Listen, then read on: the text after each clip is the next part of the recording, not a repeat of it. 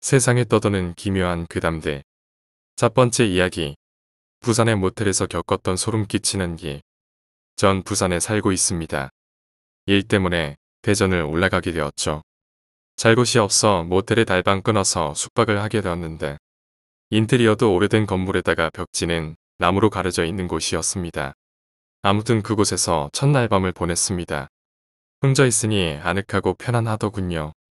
옆에서 불 끄고 옆으로 누워서 자고 있는데 발부터 몸머리까지 소름이 돋더군요. 순간 무서워서 불 다 켜고 멍하니 누워 있다가 소름 돋는 게 몇 번 있었습니다. 방이 7층 복도 끝이었는데 왠지 모르게 무서워서 잘 때마다 불 다 켜고 TV 켜고 잤습니다. 그러던 중 한날 심하게 가위를 눌렀습니다. 옆으로 자는데 눌렀네요. 일단 꼼지락 거려서 깨서 깨고 다시 잠들었는데 순간 숨이 안 쉬어집니다.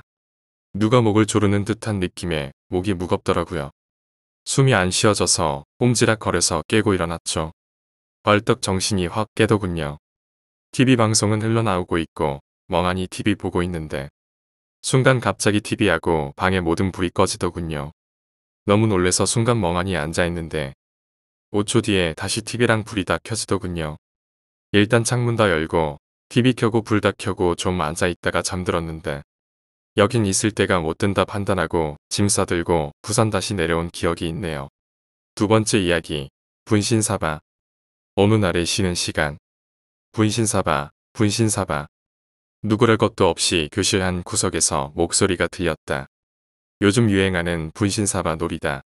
왠지 모르게 분신사바를 하는 곳 주위에 여자아이들이 둥글게 몰려있다. 분신사바 분신사바 나는 이 놀이를 좋아하지 않는다.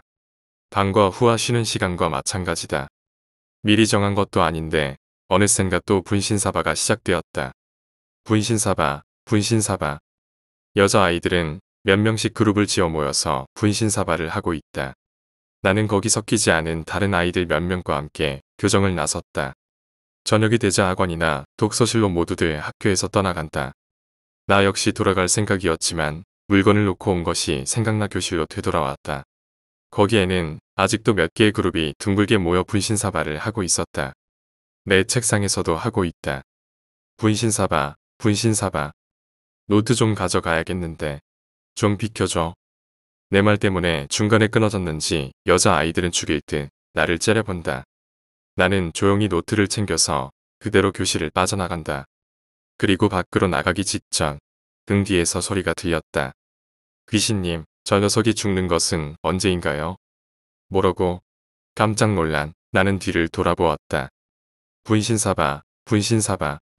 그렇게 중얼거리며 교실 안의 모든 아이들이 나를 째려보고 있었다. 세 번째 이야기, 목소리. 나는 영감이라곤 전혀 없는 사람입니다. 하지만 불가사의하게도 두 번 다시 겪고 싶지 않은 일을 겪었기 때문에 지금 말해보려 합니다.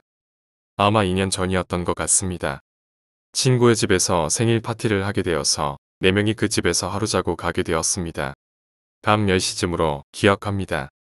옆에 앉은 친구와 이야기를 하고 있는데 노래를 부르는 것 같은 목소리가 들려왔습니다.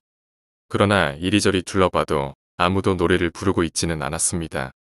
소리가 작았기 때문에 나는 아마 기분 탓에 잘못 들은 것이라고 생각하고 넘겨버렸습니다.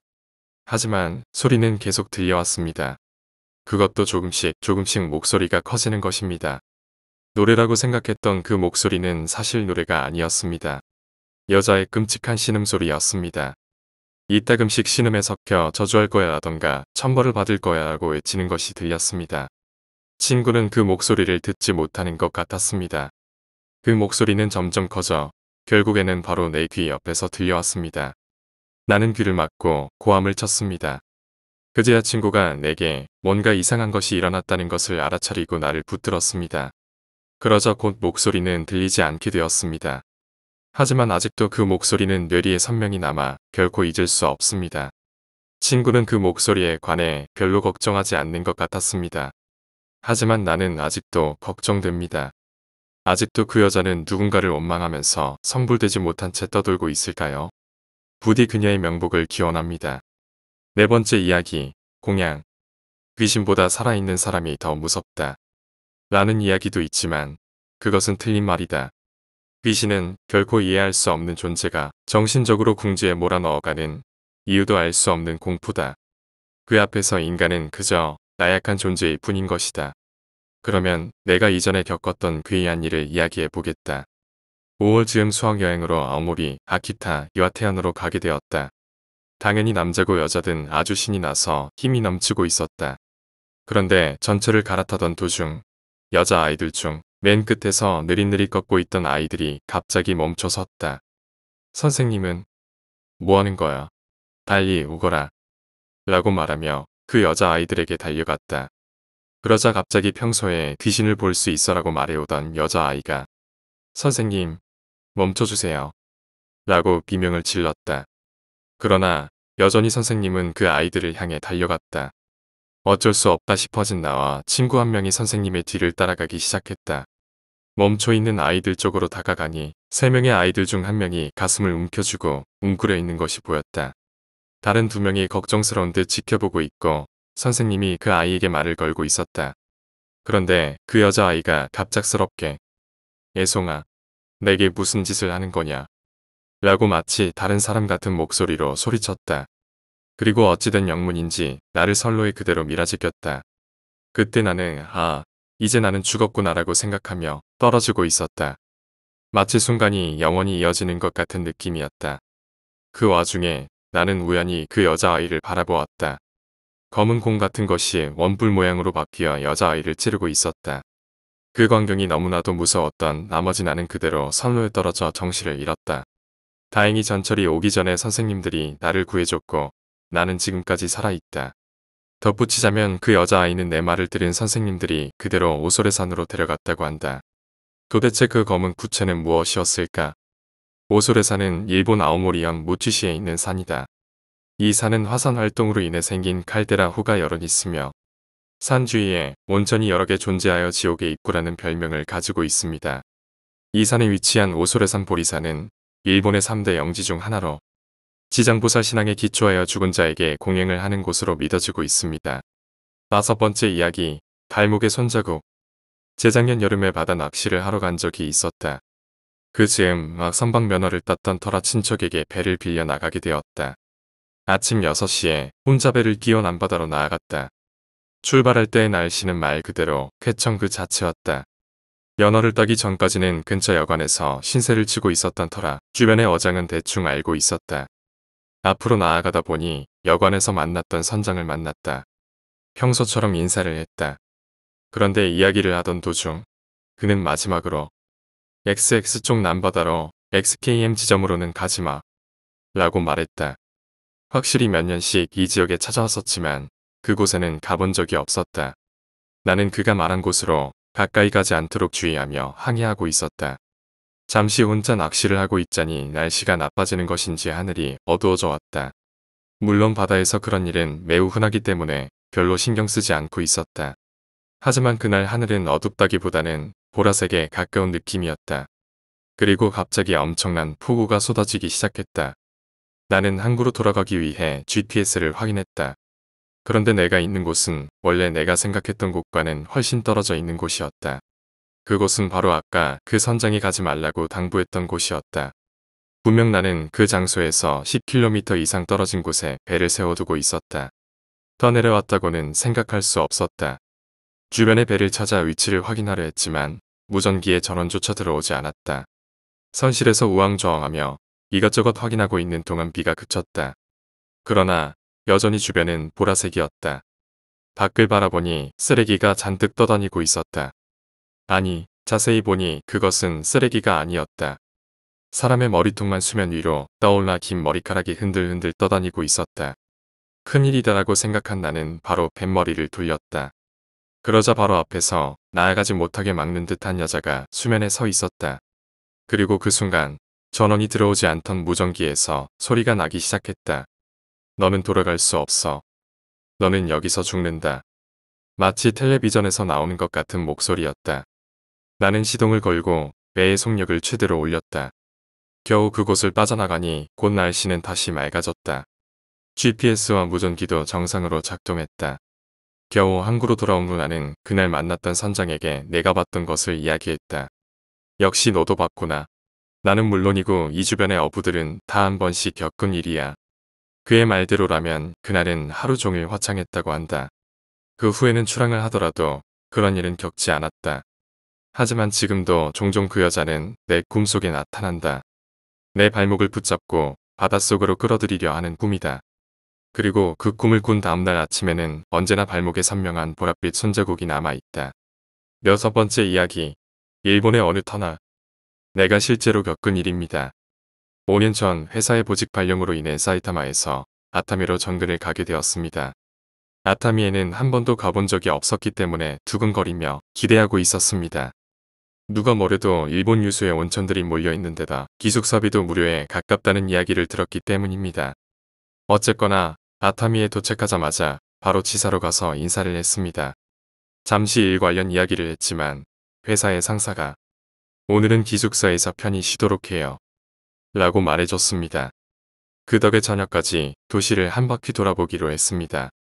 산책을 마치고 기숙사에 돌아왔지만 여전히 잔뜩 흥분하고 있었습니다. 아까 그 상사분이 아타미는 야경이 멋지죠. 라고 말한 것이 기억나서 나는 드라이브를 하러 가기로 했습니다.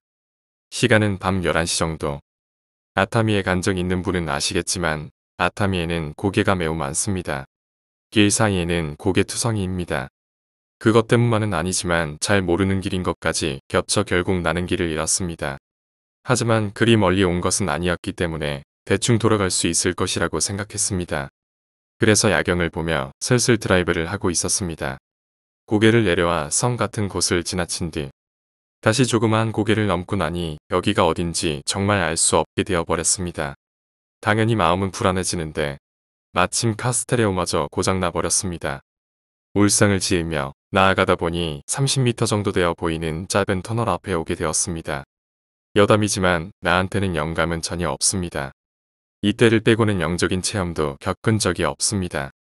그렇지만 그 터널에 들어가려던 순간 본능적으로 느껴졌습니다. 들어면 안 돼. 뭐라고 정확하게 말할 수는 없지만 왠지 그 터널에 들어가면 끝이라는 막연한 불안감이 나를 휩쌌습니다. 그렇지만 그곳을 지나가지 않고서는 되돌아갈 수밖에 없었기 때문에 본능을 무시하고 터널로 들어갔습니다. 터널에 들어가고 한복판쯤 왔을 때 나는 차를 세웠습니다. 차가 자동으로 멈춘 것은 아니었습니다. 터널의 한복판에는 어린아이가 대여섯 명 있던 것입니다. 돌을 발로 차거나 공기놀이를 하며 놀고 있었습니다. 이때 내리에 멍하게 충격이 왔습니다. 12시가 지난 한 밤중에 터널 한복판에 아이들이 놀고 있는 것입니다. 온몸을 사로잡은 공포에 참아 비명조차 지르지 못했습니다. 마치 심장을 망치로 세게 두드려 맞은 것 같은 기분이었습니다. 몸이 부들부들 흔들리고 이가 딱딱 마주쳤습니다. 그렇지만 여전히 움직일 수는 없었습니다. 그리고 그 순간 아이 중 한 명이 나를 보고 웃었습니다. 커다랗게 이를 활짝 드러내고 그 순간 나는 엄청난 비명을 지르며 차를 고속으로 후진시켰습니다. 차 문이 터널 벽에 긁혀 불꽃이 튀었지만 미친 듯 뒤로 달려 겨우 터널 입구까지 도망쳤습니다. 그리고 그대로 유턴해서 어떻게 기숙사까지 돌아올 수 있었습니다. 다음날 회사에 출근해 그 동네 토박이인 접수센터 직원분께 어제의 이야기를 털어놓았습니다. 이런 길을 지나서 터널에 들어갔더니 어린 아이들이 있었다는 이야기를 말입니다. 그러자 그분이 알겠다는 듯 말씀하셨습니다. 그곳이네요. A씨, 그 터널을 지나가면 이시키가 오라예요. 나는 이시키가 오르가가 뭐냐고 반문했습니다. 그러자 자살 명소라는 대답이 돌아왔습니다. 만약 내가 그 터널을 그대로 지나갔다면 그대로 돌진의 바다로 떨어졌을지도 모르겠습니다. 자동차 연문은 너덜너덜해졌지만 살아있는 것만으로 감사할 따름입니다. 다른 차가 뒤에 없던 것도 행운이었습니다. 사실 뒤로 30분을 돌아가도록 다른 차는 한 대도 보지 못했었습니다. 이게 내가 처음이자 마지막으로 겪었던 무서운 일입니다. 일곱 번째 이야기 죽을 때까지 저주한다. 내 친구가 들려준 이야기다. 그 녀석에게는 도쿄에서 혼자 살고 있는 여동생이 있었다. 어느 날부터인가 동생으로부터 연락이 끊어졌던 모양이다. 하지만 여동생이 사회인으로 독립해 나가는 과정이라 생각했던 탓에 그대로 내버려뒀었다고 한다. 그런데 얼마 뒤 경찰에서 전화가 온 것이다. 여동생이 자살했다는 것이었다. 유서에 의하면 직장 상사와 불륜 관계에 있던 여동생이 임신한 뒤 버림받은 나머지 죽음을 택했다고 한다. 친구는 당연히 미친 듯이 화를 냈고 여동생의 영정과 뼈가루를 품에 안고 그 직장 상사라는 사람을 만나기 위해 도쿄로 달려갔다. 우선 여동생의 직장으로 가서 그 상사를 불러내려 했지만 그럴 수 없었다. 그 녀석은 이미 회사를 그만둔 상태였던 것이다. 자세한 사정은 모르겠지만 회사의 이미지에 좋지 않다는 이유로 권고 사직당한 모양이었다. 그렇지만 다행히 여동생의 친구를 만날 수 있었고 그 친구에게 사정사정해서 그 녀석의 주소를 알게 되었다. 친구는 단숨에 그 놈의 집으로 달려갔다. 하지만 초인종을 아무리 눌러도 대답이 없다. 현관문을 끈질기게 두드리자 결국 그 놈은 얼굴을 드러냈다. 친구는 이를 갈며 자신의 신분과 찾아온 이유를 밝혔다. 친구는 영정을 보여주며 당장 무릎 꿇고 사과하라고 분노하며 따졌다. 하지만 어째서인지 남자의 반응이 이상하다. 화가 난 친구는 위협이라도 해야겠다는 생각에 이런 말을 했다고 한다. 내가 널 용서할 거라고 생각하냐. 내 동생은 매일 밤 내게 나타나서 울고 있어. 네가 사과하지 않으면 성불도 못할 거라고. 하지만 그 남자는 지친 것 같은 표정으로 쓴 웃음을 지으며 대답했다. 그럴 리 없습니다. 말도 안 되는 소리 하지 마세요. 비웃는 건가?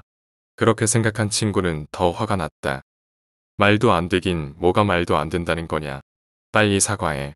그 아이가 성불할 수 있도록. 남자는 그런 친구를 여전히 지친 듯한 표정으로 바라보며 말했다. 쓸데없는 짓입니다. 몇 번을 사과해도 그녀는 용서해주지 않아요. 지금도 이 옆에서 나를 노려보고 있어요.